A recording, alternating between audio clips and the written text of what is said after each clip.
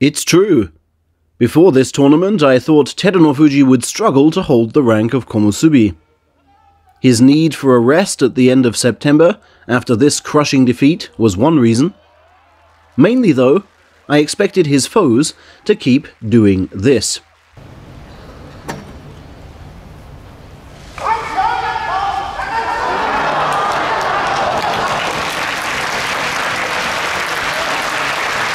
Parry him forcefully from the side, and his failing knees make him look about 70. Yet, to my surprise, most of the men he fought were unable to do this. Were their tactics totally wrong? Or is he just sublime in stopping them? You can judge for yourselves from the video evidence I'm about to show, with the questions alone hinting at what a fascinating game of chess sumo can actually be. On day one, Kagayaki went for a right throat hold, hoping to follow up with a left armpit press, believing he had the strength to knock Teru backwards. But the height of his right elbow was a gift to the Mongolian, who simply knocked it skywards, then hammered the exposed armpit.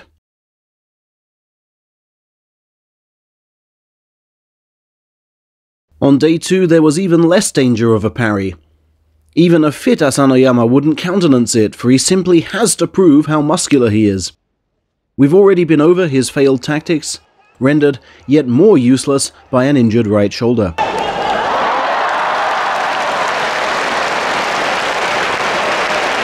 The interesting one was day 3, when Onosho miserably failed to replicate his September success. As then, he tried to tip the right armpit. Like Kagayaki, he attempted the right throat hold. But Teru's counter was genius, hooking the right from underneath and clamping the left at the second attempt. Onosho had to free that left arm to avoid a nasty break, and his frantic movement to do so not only left his armpit exposed, but his body in a spin. And once sideways on, his only concern was how well he would land on the floor cushions. There was no parry from Okinoumi on day 4. He feels his best chance always lies with an inside left.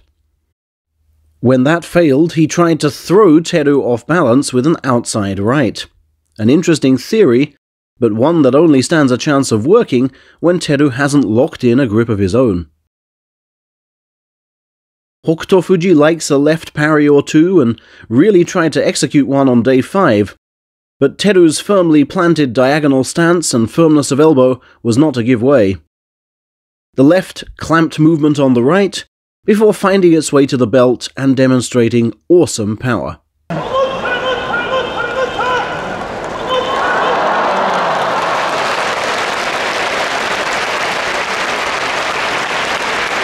And on day 6 we saw the same theme played out. Teru making himself big, making his gestures big, to hem his foe in from both sides. The men who best fathomed how to avoid this would see their chances of winning multiply. Surprisingly, it took one win, six loss Wakatakakage to point the way to victory on day 7, sliding sideways at the tachiai, then tunneling in from a diagonal to back Teru against the ropes. But he too got clamped by the right and straightened up, then opened up for a left scoop throw. A little tweaking was needed. Thus, on day 8 did Daieisho broadly copy that tachiai, but, once hitting the diagonal, focused all energy on staying outside Teru's feared left arm. Two parries to the left elbow later, and Daieisho had set himself up for a second charge. Now unable to clamp with the left, a flustered Teru resorted to shoving, and finally exposed his left armpit, fearing the threat to his backpedaling knees should he teeter any further. His first defeat duly ensued, and that's why we love great thrusting. It stops even insanely strong belt fighters from having everything their own way. But just when we thought we'd seen the perfect Stop Teru game plan, Takayasu took things to a new level the following day.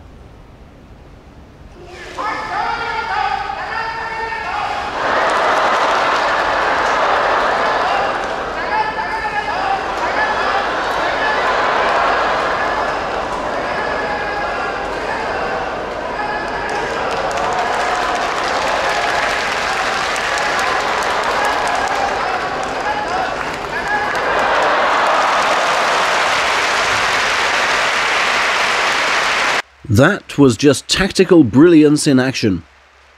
The fruitful attack from the right diagonal, combined with threats to the nape of the neck, causing Teru to stumble the full 360. And then, admittedly you need to be of a certain size to do this, but the use of the outside left grip to swing him into a right side attack on the pectoral. If not off the scale, that was at least Ozeki level. But it also speaks volumes for Teru's condition and ability that that was the level of tactical sophistication and fine execution needed to handle him in November. We thought the Mongolian's title chances to be gone and wondered if his confidence would slide, but not a bit. He was firstly aided by some inept sumo from Tobizaru on day 10. How on earth did the flying monkey think he could win from there?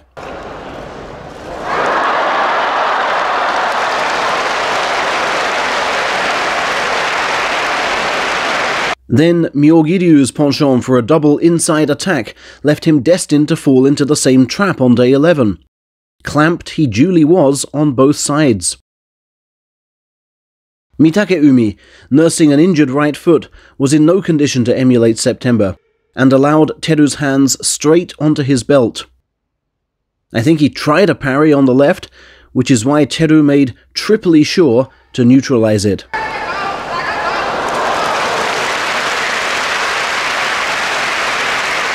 And on day 13, Ryuden sought to impose his style rather than tailor a plan, and found his confidence in an inside grip sorely misplaced. Teru's thewy right arm was so possessed, it could have wrestled a bear away that day.